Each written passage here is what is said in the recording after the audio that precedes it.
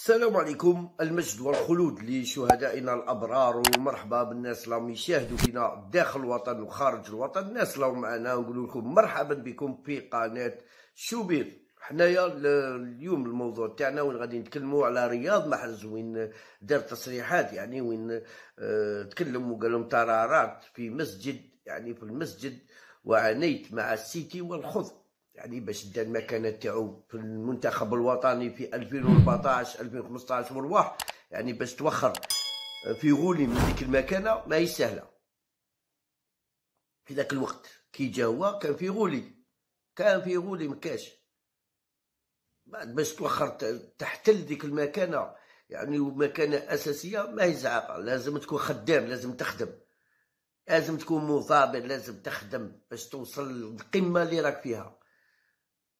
هذه ومع السيتي فانيك راك كانوا لاعبين وخدم ووصل وين نزل النجم الجزائري المنتخب الوطني واللاعب نادي مانشستر سيتي الإنجليزي ضيف على احد القنوات عبر مواقع اليوتيوب في حي سارسيل بباريس حيث تطرق إلى العديد من الأمور التي تخص مشواره الرياضي وأيضا أموره الشخصية.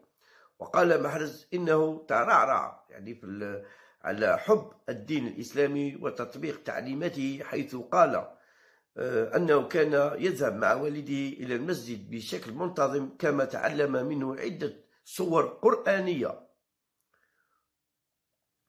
هنايا ماذا بكم؟ أعطونا جام كومونتير أبونوا معنا وبارطاجوا لي فيديو. وبخصوص نعاود نقولوا بخصوص الجانب الفني ووضعيته الحالية في البطولة الإنجليزية. قال محرز لقد تعرضت لعدة صعوبات في الموسمين الأول ولكن إصراري كان أكبر في تحدي كل الظروف والوصول إلى أفضل مستوى لي. وأظن أنني وصلت إلى مرحلة مرضية بالنسبة لي.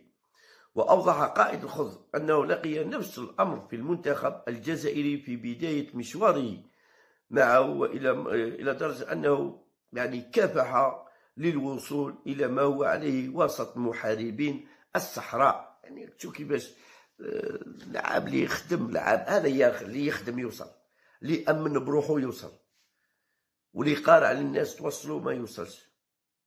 هذه هي. ما تنساوش abonnez أعطونا j'aime commentaire وبارطاجوا les vidéos. سعيد.